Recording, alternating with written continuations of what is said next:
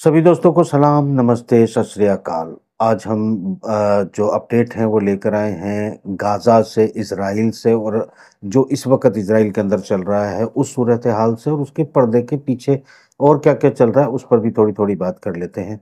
तो इस वक्त जब हम आपसे बात कर रहे हैं आज जो सूरत हाल है वो इसराइल की बहुत तनावपूर्ण है लोग सड़कों पर हैं, भारी भीड़ जमा है और लोग इस बात पर अड़े हैं कि अब ये फैसला होगा, यानी युद्ध विराम और बंदी समझौते पर। फैसला होने के बाद ही सड़कों पर लौटेंगे, मगर इनके कई संगठनों ने कोर्ट को इसराइल के जो है ये यकीन दिलाने की कोशिश की है कि कल शाम छः बजे तक ये हड़ताल, ये स्ट्राइक, ये भीड़ जो है वो ख़त्म हो जाएगी। इस वक्त जब हम बात कर रहे हैं, यहाँ उसके पोर्ट बंद हैं, एयरपोर्ट बंद हैं और लोग सड़कों पर जमा हैं, भारी भीड़ जो है वो चल रही है। कुल मिलाकर ये जो एक कोशिश की जा रही है कि किसी तरह युद्ध विराम के समझौते पर पहुँचा जाए, इजराइल की सूरत हाल बिगड़ी हुई है। यहाँ जो नफ्ताली बेनेट है, उसकी जो रेटिंग दिखाई दे रही है सरकार चलाने या बनाने के लिए, वो लगभग अड़तीस प्रतिशत है और नेतन्याहू का समर्थन तैंतीस प्रतिशत पर गिर गया है। तो कुल मिलाकर ये तैंतीस भी है कि नहीं, क्योंकि इस वक्त एक भारी जनता जो आक्रोश दिखाई दे रहा है, हर तरफ़ तेल अवीव में, हाइफा में म- हर जगह पर जो है वो एहतजाज है, एयरपोर्ट बंद है। यहाँ ये दबाव बनाया जा रहा है कि समझौता तुरंत किया जाए, यानी आप कह सकते हैं कि पूरा देश सड़कों पर है, पूरा देश बंद है, और नेतन्याहू अब भी युद्ध करना चाहता है। इस पूरी विभीषिका को समझने की कोशिश करते हैं कि ये क्या हो रहा है। देखिए, कल रूस से वापस लौटा है जो मिलिट्री सेक्रेटरी था इसराइल का, वो बात करने गया था, क्रेमलिन के साथ यानी रशिया के साथ बात करने गया था। क्या बात करने गया था, इसका खुलासा तो नहीं हुआ। सीधी बात है कि अभी तक किसी भी मीटिंग में रशिया शामिल नहीं था। जो भी समझौते में, जो कतर में चल रही है, जो काहिरा में यानी मिस्र में जो जो मीटिंगें हुई हैं, शांति वार्ता को लेकर कि, किसी तरीके से बंधक समझौता किया जाए, युद्ध विराम किया जाए और इस पूरे समझौते में फिजिकली रशिया इन्वॉल्व नहीं था। डिप्लोमेटिक चैनल से ईरान के साथ या फिर अनडिप्लोमेटिक तरीके से हमास हुतीज और हिजबुल्ला के साथ रशिया के रबते हैं, बल्कि उसी की कमांड में मुझे लगता है सब कुछ चल रहा है मतलब ये मेरी अपनी ओपिनियन है। तो ये चल रहा है, इसमें तो कोई दो राय नहीं है और ये शायद जब ये वाकई युद्ध रोकना चाहते हैं और अपनी जान छुड़ाना चाहते हैं, ये इस वक्त जो जनता सड़कों पर है, ये जनता खुद ब खुद सड़कों पर आ गई है, ये सड़कों पर लाई जा रही है।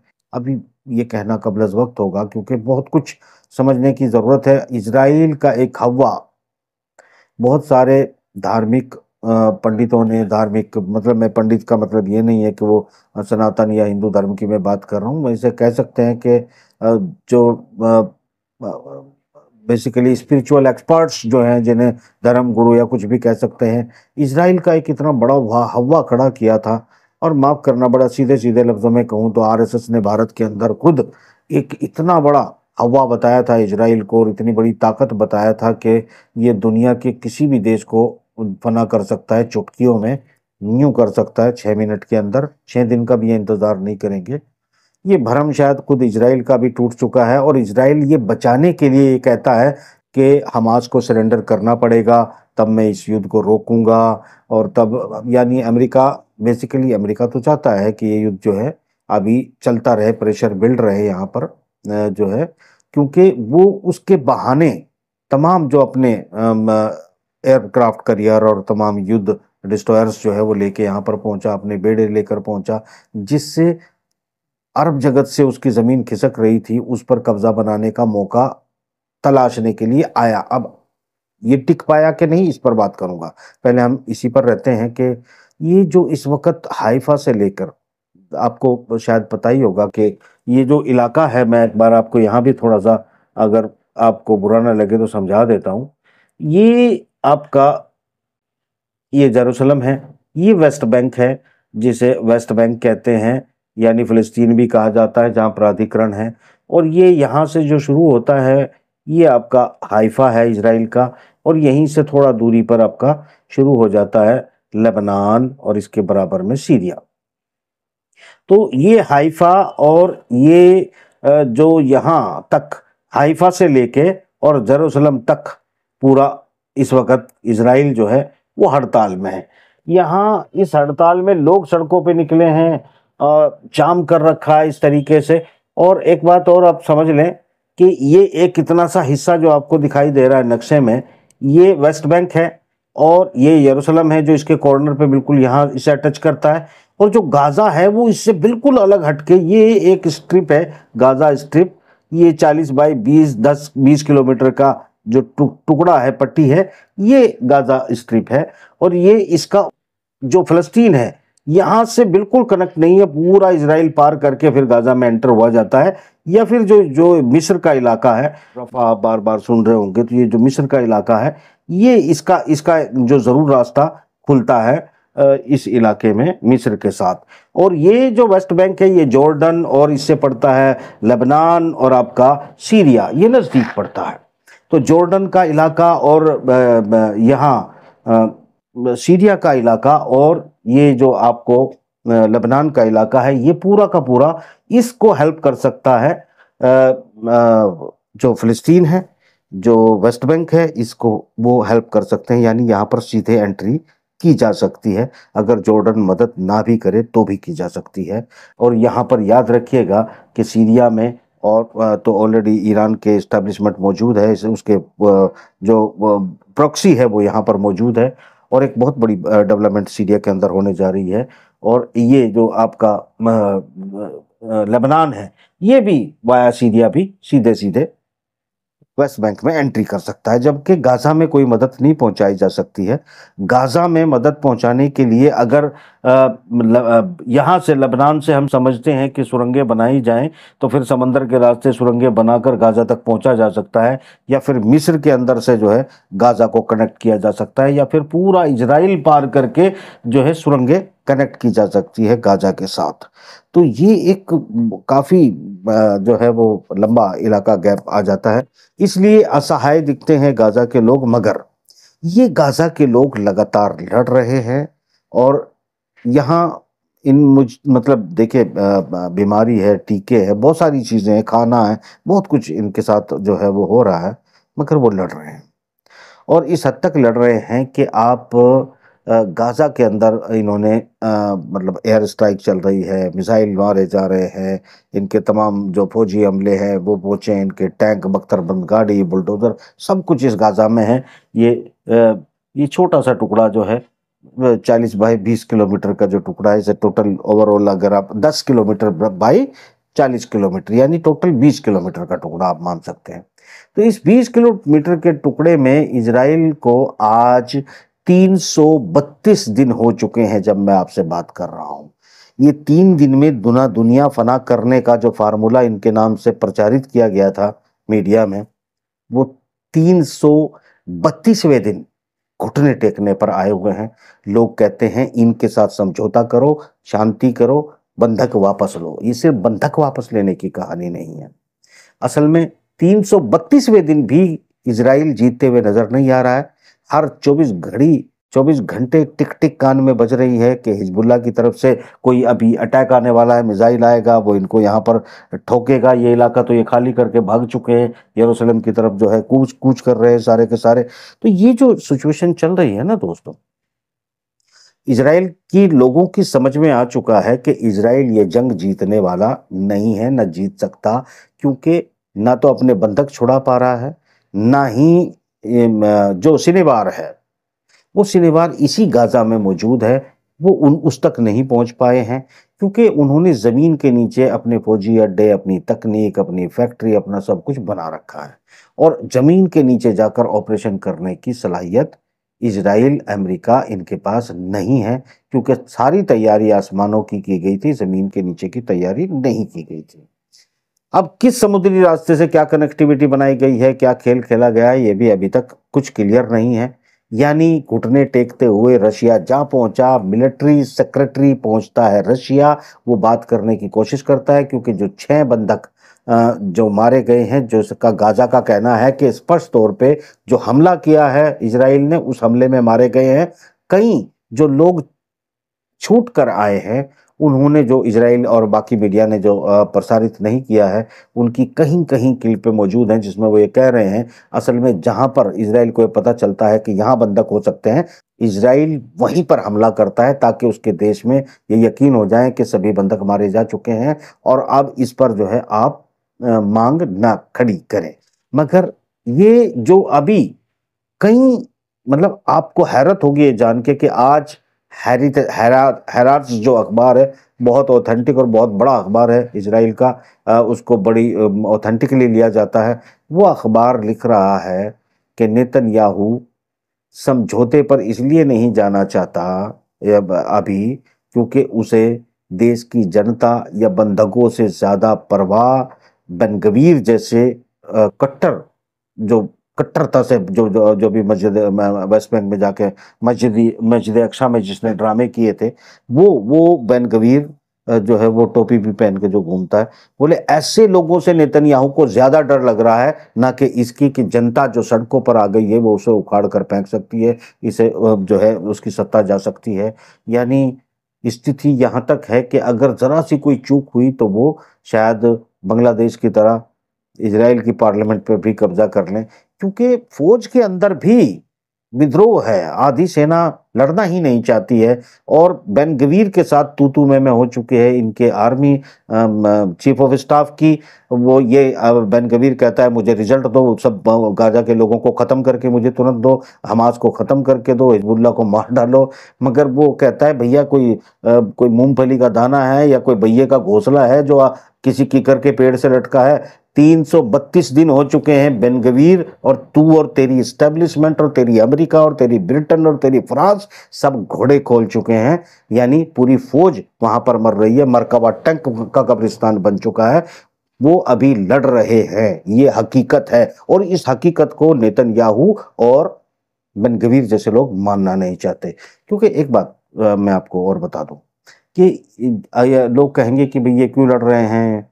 और क्यों इस युद्ध को समाप्त नहीं कर देते? गाजा के लोगों को पता है कि उन्हें बहुत स्पष्ट तौर से जो है उनके प्लान, उनके खात्मे का प्लान, उनको एक ऐसे रेगिस्तान में धकेलने का, जो मैं आपको पहले भी बता चुका हूँ।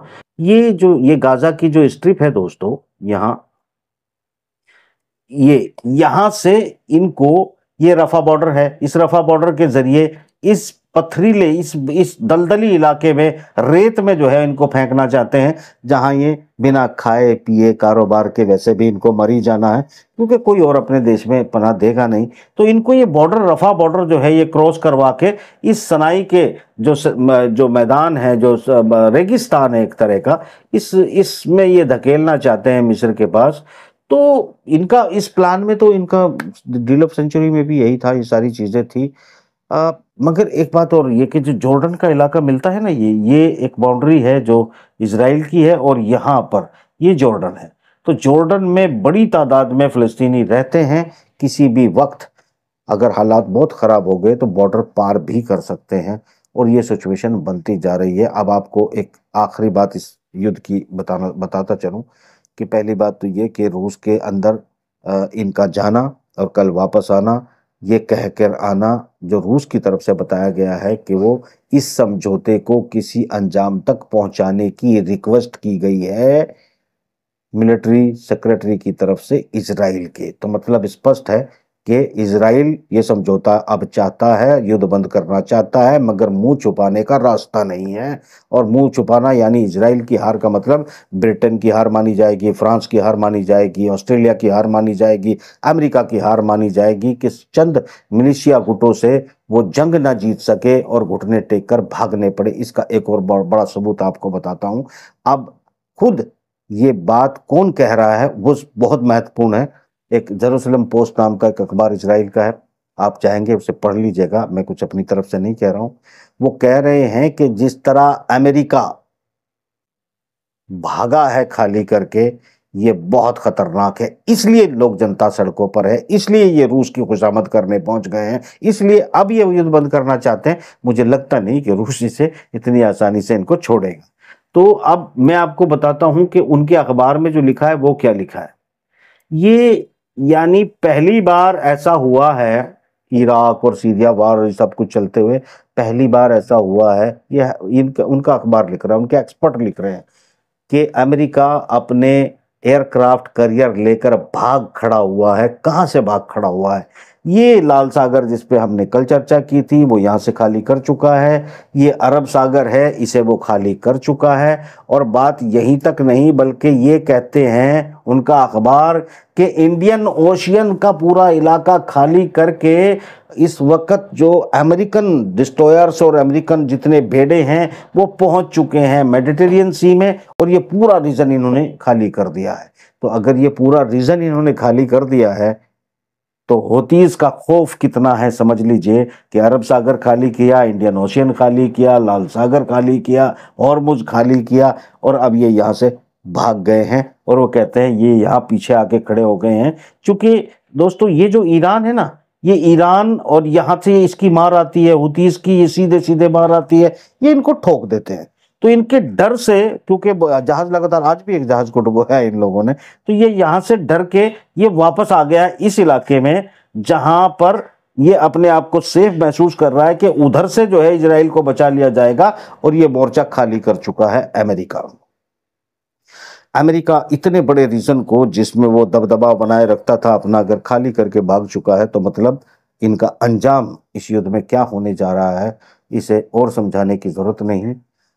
ये अलग बात है कि कान में आपने क्या सुन रखा है? वो कान के ज़रिए दिल में कितनी गहरा गड्ढा बना चुका है।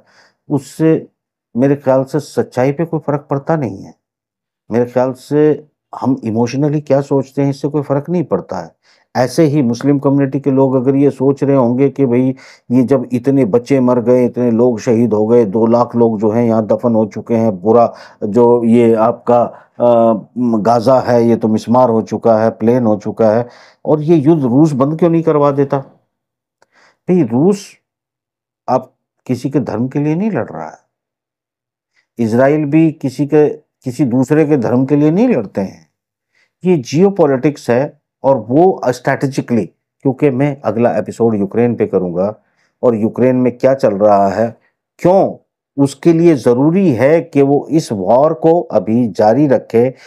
भले ही नेतन्याहू सहित पूरा इजराइल गिड़गिड़ाए, रोए, पीटे, जो बाइडन, कमला हैरिस पैरों में पड़ जाए, पुतिन के कहें कि बच्चे को छोड़ दो और यहाँ ख़त्म कर दो। और मुस्लिम देश भी ये कहें कि भाई साहब, पुतिन जो है ये बंद करवा के किसी तरीके से ख़त्म करें आप, क्योंकि वहाँ बहुत लाशें गिर चुकी हैं। तो माफ़ करना इससे। पुतिन वाले जो कैंप है, उस कैंप का जो गेम है, वो पूरा नहीं होता।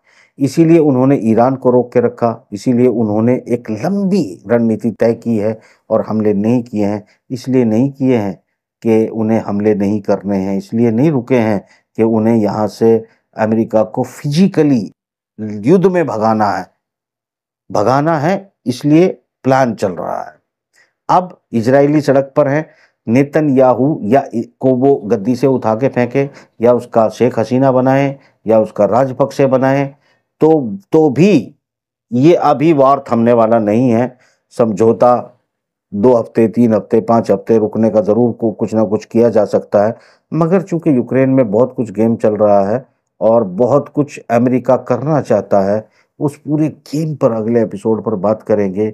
चाइना ने पूरी तैयारी कर ली है इनके डॉलर में आखिरी कील ठोकने की।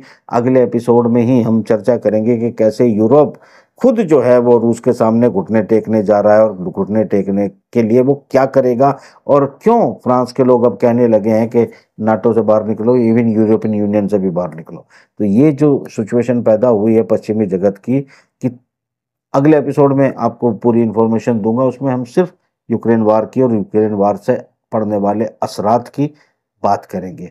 गाज़ा की सूरत हाल पर हमने ताज़ा बात कर ली है।